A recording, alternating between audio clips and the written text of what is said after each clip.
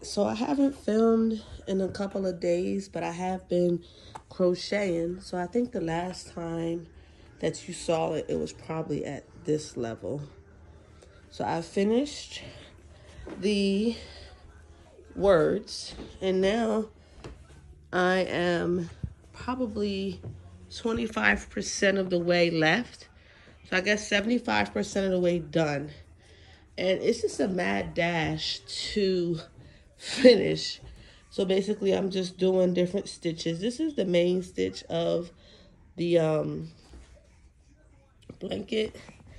I did some double crochets just to try to create some um, bulk, bulk to it. And I don't always count.